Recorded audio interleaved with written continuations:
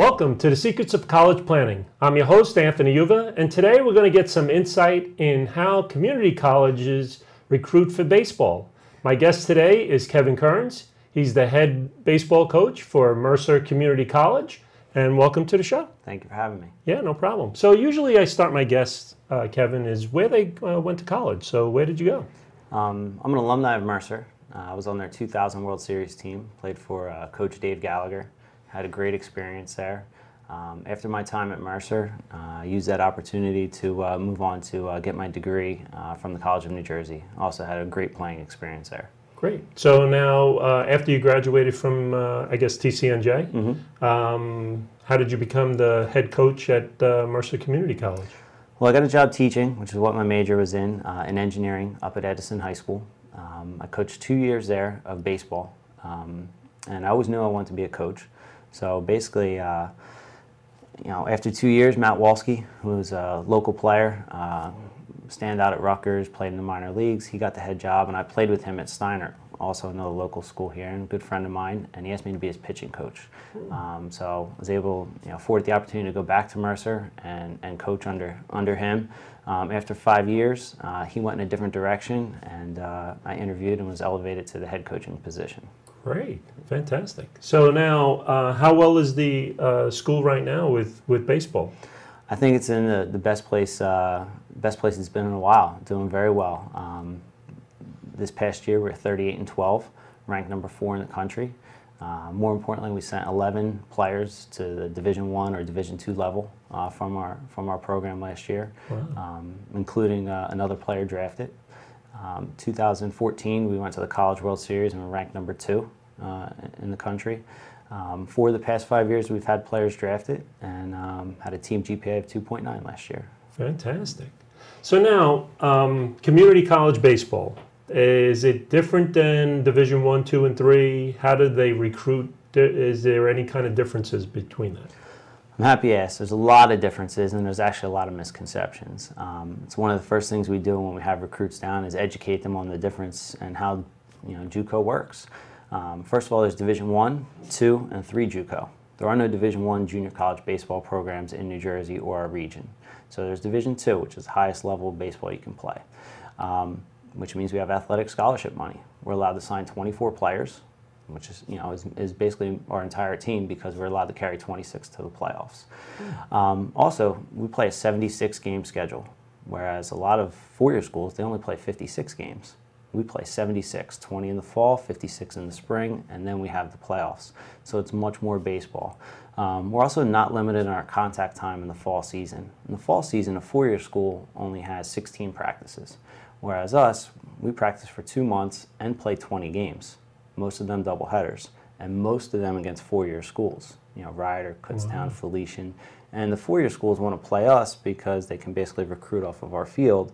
And for us, we're playing, you know, we're basically in essence playing up. So it's good exposure and, uh, you know, a, a, good level of competition. Um, a lot of, you know, the, uh, one of the other big differences is you can get drafted. Um, you know, a lot of times people think, oh, you know, it's it's a low-level baseball, it's a club. It couldn't be further from the truth with the with the good programs. Um, for the past five years, we've had players drafted. Um, this past year, we had a player go in the 21st round. The year before that, we had the National Pitcher of the Year who went in the fifth round. Wow. Um, we've had several players come to us to try and get drafted. If you go to a four-year school, you have to wait until your junior year to get drafted. Whereas a, uh, if you come in as a freshman, your sophomore, you're draft eligible immediately, which gives you leverage. Mm. Um, you know, instead of having only two years to get drafted, you now have four. So you want to maximize that signing bonus. So is it more for a student that is not really sure that they can make the pro level yet? Um, uh, junior college is a, a, better route for them to see if they're actually good enough, um, or is that the uh, the the four year school where they can't they can't do anything until junior year better for them. How does that work? If we really bring in a blend every year, you know, we have Division three caliber players on our team, and we have players that probably will get drafted again this year on our team. So we have we have a true blend. Um, I'd love to have all the draft eligible players or you know you know the opportunity to get drafted, but sometimes that's not the case.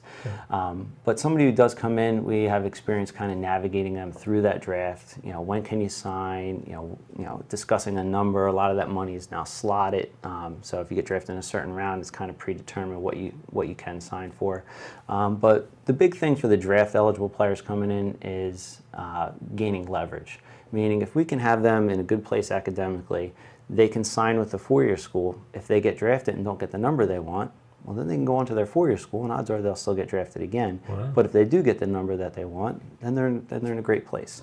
Um, so we kind of have experience guiding them through that. But we also have players that we come in um, that come in and you know have to have to develop, and they go on to Division three. We've had players going on to to uh, armed forces or going on to uh, be uh, police officers. You know, so it, it's, it's a wide range. So now, how do uh, how do you go about recruiting? What's the what's the uh, what's the competition like that you're looking for? It's actually pretty pretty intense. Um, you know, there's four-year schools out there that are signing or you know getting verbal commitments from sophomores in high school now. Um, you know, the, the, kids are you know one year playing varsity as a sophomore and they're already verbal.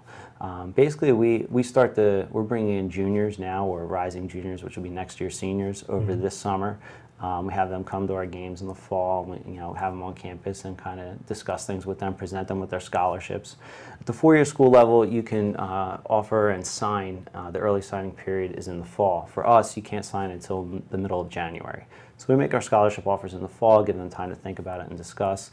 Um, but it is actually very competitive. Um, you know, some very good junior college baseball in and around the area uh, in our region and the four-year schools. And what we're starting to see a lot of now is a lot of the southern schools are coming up north because uh, the feedback I'm getting from them is you have a you have a tougher kid up here. You know, hmm. my guys, if we have if there's snow, we have to go shovel the field. Now, now, can you recruit everywhere, uh, even though you're a community college? Absolutely. Uh, we don't have dorms on campus. Some do. Some community colleges do.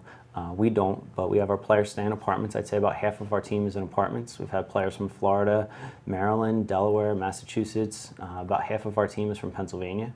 Um, so we have players in and around the state. Uh, we really try and stay within an hour and a half bubble, but we've gone out of that for special cases. And for us to put a player in an apartment, we want to make sure we're getting the, the, the right the right character person. Yeah, that's fantastic. Now, so recruiting wise, um, what type of player are you looking for? Do they have to have good grades? Do they do they have to be playing in a lot of different uh, leagues? How, how does it work at the community college level? Well, a couple things we look for. One, um, there's very few student athletes that play three sports in high school anymore, but we've had a lot of success with football players, wrestlers. Um, they're mentally tough and, and strong kids you know, if you can get through triple sessions with football, you can get through practices and the grind of our season. 76 games is a lot. Um, so we go after kids that we, we think are mentally tough. Um, you know, I think the more sports a kid plays, the better. So if we find a three-sport athlete who's also very good at baseball, it helps. Uh, we make sure that we cross-check with their um, travel coach, with their high school coach. Uh, we ask around, and uh, one of the biggest things we have is a lot of the players on our team have either played with these guys who we're recruiting and we ask them, would you like them to be your teammate? And a lot of times they say yes. You know, in some cases they say no, he wouldn't be a good fit here. Um, you know, it really is a, a full-time job to play collegiate baseball. Um, so you know, we kind of make sure we cross-check on them and make sure that uh, we're getting a quality, you know, a quality person. And what's the what's the grade level? What what are they looking at uh, in grades to get into a school like community college? Um, Mercer's open enrollment. So if you graduate high school, we'll accept you. Um, but we have several players, you know, that's one of the other misconceptions is that it's only for players with poor grades. Um, there's something called the NJ STARS program uh, for players that uh, are very, uh, very good academically. They can come to the community college. If they maintain a 3.5 GPA, they can then go on to any state school, most state schools I should say. In New Jersey. In New Jersey, and their tuition is paid for. So they get four years of tuition for free by maintaining high academic standards and going the JUCO route. Um, several players uh, have come to us with strong grades, passed the clearinghouse, had Division One offers. But They chose to come to Mercer because we can make it affordable. Um, as I mentioned, we have scholarships, so we can make the cost of school very affordable compared to most four-year schools. Um, we had a player recently who was offered half scholarship to a four-year school, and it was still $25,000 for him Right. Well, we offered him half scholarship and it cost him $1,000 a semester.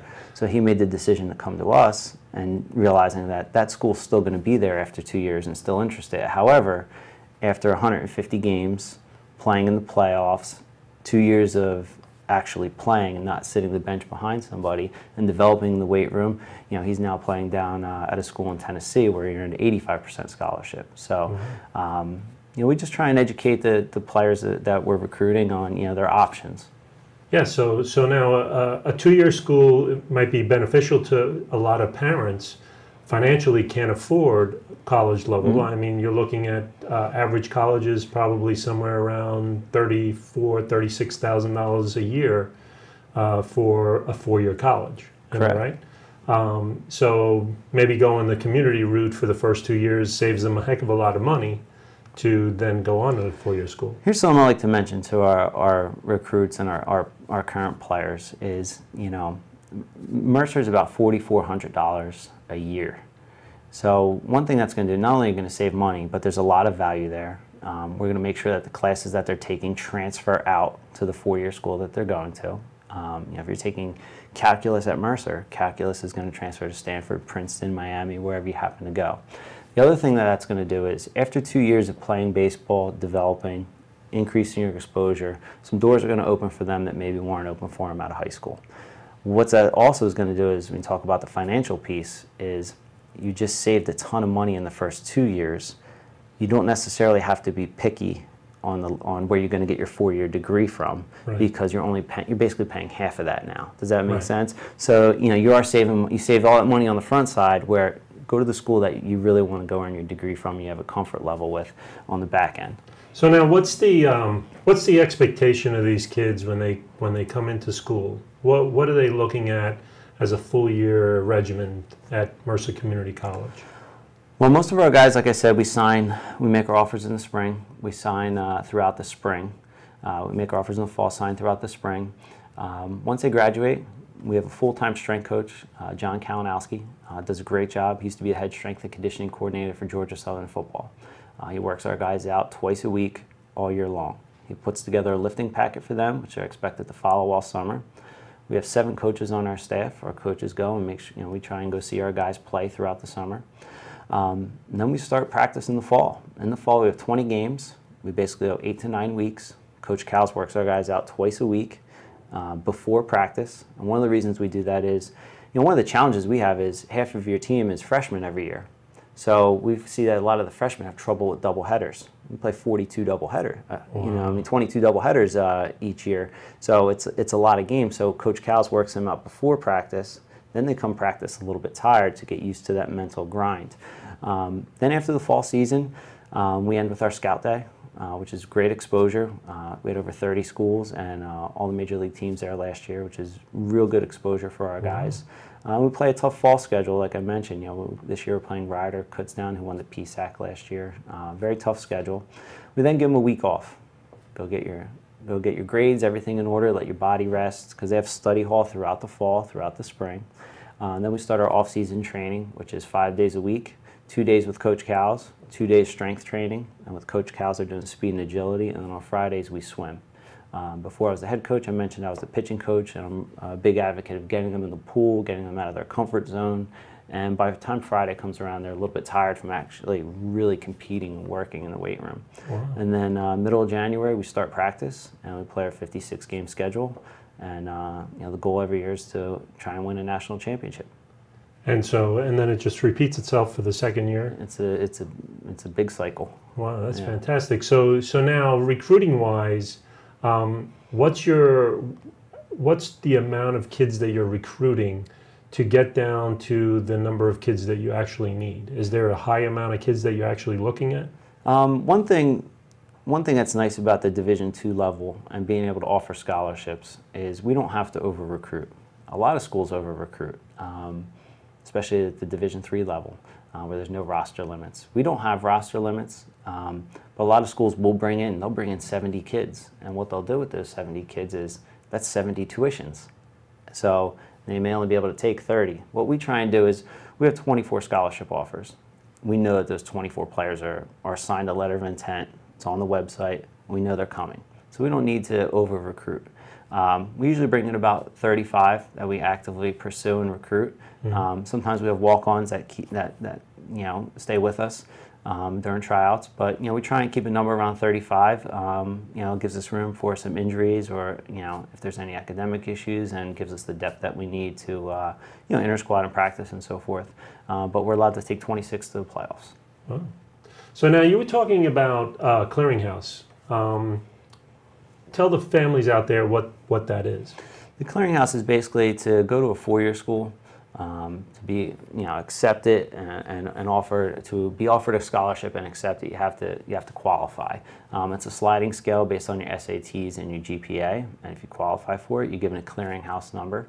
Um, players who are very talented and maybe are worthy of a scholarship but haven't met those academic requirements, the next best option is to go the junior college route to go, you know, with us, you know, we make sure that we monitor them academically. Each coach of our, each of our seven coaches is assigned multiple players, you know, uh, class checks and mandatory study halls that they can earn their way out of if they're doing well.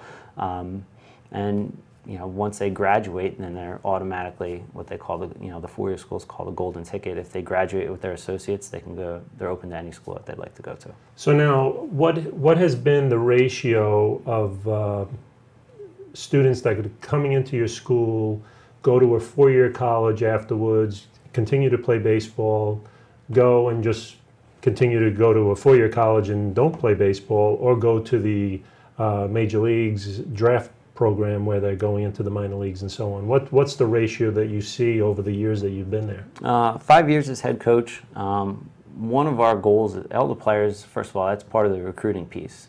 You know, we need kids that are baseball players, not kids that just want to play baseball. It's not easy to play for us. We demand a lot of them, um, and like I mentioned, we're trying to win a national championship every year.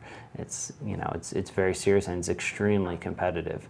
Um, you know, for the five uh, for the past five years, we've had a player drafted, um, all of them being pitchers. Um, but last year we sent 11 players, Division One or Division Two, and uh, I think three or four players to the Division Three level.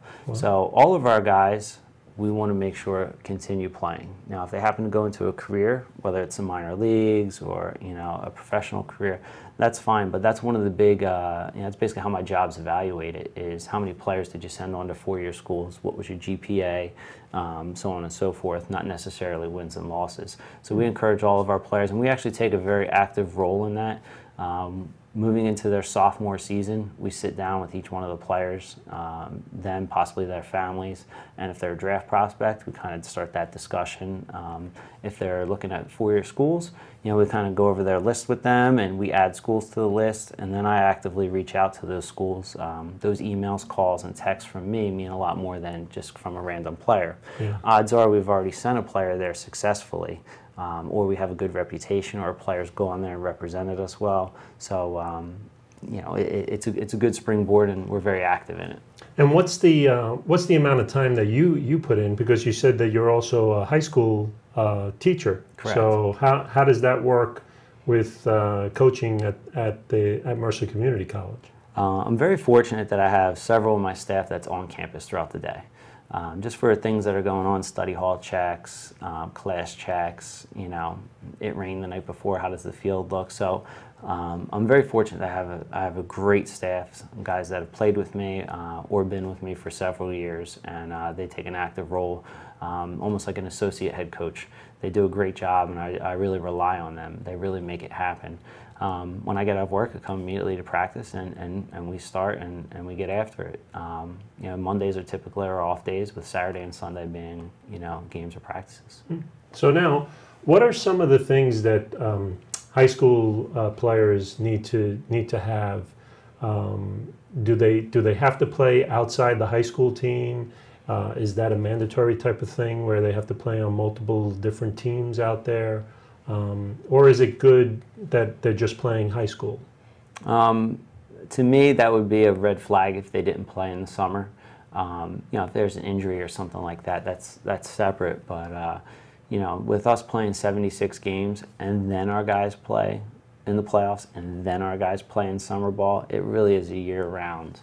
You know, it really is a year-round thing. So um, we want to be able to see those guys in the summer. Um, that's when we're not playing. So you know, when uh, the high school season's going on, sometimes with us playing 56 games Yeah. and travel, sometimes it's tough to get out and go see these players. Um, so in the summer, it's a great opportunity for us to go watch as many games as we can. So them playing in the summer is, is paramount. And what, what are some of the what are some of the um, organizations that are out there that kids can play in the summertime? Uh, there's Legion, and there's pretty much travel ball. Um, there's a lot of travel ball. There's showcases. Um, there's the All Star Baseball Academy showcases. Tons of sh- showcases right up there in Diamond Nation, Hunterdon County. Staten Island showcases. Showcases down in uh, Maryland. Wow. Pretty much showcases uh, constantly going on. Um, tournaments going on. Um, one big thing that we try and do is we always try to make sure we attend the uh, New Jersey State underclass game. Um, but there's tournaments in Pennsylvania. It's there's there's a lot of baseball going on in the summer. So if, if if kids out there are playing baseball, these are some of the things that they should be doing to get recognized at the college level. Correct. The one thing I would tell parents and and kids is if they're good, they'll be found. We'll find them. you know, there's a lot of money that, that's being spent on those things, but if they're good, we'll find them. Um, so, but you know, it definitely helps exposure playing, uh, you know, travel ball, especially Legion. Um, you know, we have a lot of incoming guys that are, are still playing Legion. Um, so that, you know, just the fact that they're playing, is, you know, we'll find them. That's great. So, um, are you actively out there uh, recruiting in, in certain areas? Is is it is it just around here that you're doing it, or do you find kids, you know, all the way down in Florida or California or things like that? Is there a way of finding those type of kids? We have it structured, um, you know, where I oversee all the recruiting. We have a database. You know, everything's electronic, where we can uh, we monitor when we've sent letters, when we've made calls, uh, notes, comments. You know, when they visit it, and so on and so forth. Is their for pending? So we have that all uh, electronically on a database. Um, I oversee the monitoring. Uh, each coach is in charge of a certain area. Some coaches. I have one coach uh, who's in charge of all of Pennsylvania. I have another coach who's in charge of Hunterdon County, Somerset, and North Jersey. Wow. Um, I have another coach who just handles Burlington and South Jersey. Um, we get emails from Puerto Rico. We get emails from Florida, Georgia, all over. Um, you know, we try and stay within a, a two-hour bubble, but we've had players on a team from Massachusetts and Florida if they're if they're the right fit. Now, do you also play against other community colleges? Correct. Um, we don't. We only play four-year schools in the fall. Um, in the in the spring, play all all the other JUCOs uh, in and around the area. Multiple trips down to Maryland, which has a strong region as well. Um, and then we do our spring trip down to uh, Myrtle Beach, where we play teams from all over the country. Really? Wow, that's fantastic stuff that you got going on there. Um, so, what ends up happening with the, the students um, that are, are focusing on academics but play baseball? Um, what do you do with those type of students? Is there is there something that goes on at the school for those students? Well, we have most, I would say most of our kids, our, our student athletes, are very high academic achievers. Um, you know, whether they've transferred in or we've recruited them. Um, you know, we, one, give them the opportunity to earn their way out of study hall if they have a 3.5 GPA or higher. So that's a big motivator for a lot, for a lot of guys. Um, then one of the things that we talked about when they come in is don't limit your options. You know, they can have a 2.0 GPA at any school and be eligible. But the difference is you need to move beyond Mercer and use Mercer as a springboard to another opportunity. And a 2.0 GPA is going to limit those opportunities. Also, around a 3.0 is when a lot of um, academic aid comes in. So, if a coach is able to bundle academic aid with uh, athletic scholarship aid, that's when he can put a nice package together for them. So, these are things we try and educate them on, and, and, and we, really, we really try and monitor their academics with progress reports and study halls and so forth. And do you see um, do you see a lot of students out there that come from um, um, four-year colleges and transfer to a community college and then go back to a four-year college? The Division One and Two transfer rates in baseball are higher than they've ever been before. Um, I mentioned to you, we just uh, off air, we had six players contact us from the Division One ranks about transferring in last year Wow. um, after the fall season. Um, why that is, I'm, I'm not necessarily sure, but I know that the, the, we're constantly getting calls for, for transfers and so forth, and we have experience guiding those players through through the transfer process. You know, whether it's obtaining their release, um, what they need to do academically to go back to the Division One level. Um, there's a 424 rule where if a four-year a student goes to a four-year college, and then a junior college, then back to a four-year college for him to accept a scholarship at the Division One level, he needs to graduate. So we want to make sure that they're taking the correct class and staying on track so that they don't limit their options. Gotcha. Okay. Well, uh, we're coming to the end of our show. And uh, usually, what I ask my guests is um, what advice do you want to give the parents out there that their kids um, are, are, are looking at a community college as, as, a, as a, you know, a direction for them? Um, the, I'm a big advocate of the junior college route. I'm, I'm a, I like to think that I'm a success story of the junior college route. Um, I was not able to get into the College of New Jersey um, or play there out of high school, and I had a you know I had a great experience playing in high school. Um, you know, we were on a very good team, um, won the state title. I wasn't ready to go there academically. I, I went to uh, to Mercer and had a had a great experience. Um, you know, I think hopefully I was able to open some eyes about some of the misconceptions there. Um, the, the cost, the financial piece is probably the, the biggest thing, the biggest reason to go there. Um, you know, because it, it allows you after your time at the junior college route, you can pick the school that you want and you're basically paying half the price. Um, you know, and there's junior colleges that you could go and you know they're all they're all over. You, and some of them have dorms, some of them, a lot of them have football. You know, especially they're all around the country. So I would say don't limit your options. And you know, I know it's nice to go away at the four-year school, but uh, you know, if the financial piece is playing into it, you know, definitely consider junior college route. Great. Well, thank you very much for coming. I appreciate it. Thank you for having me. Yeah, no problem. So you've been watching The Secrets of College Planning. I'm your host, Anthony Uva. Until next time.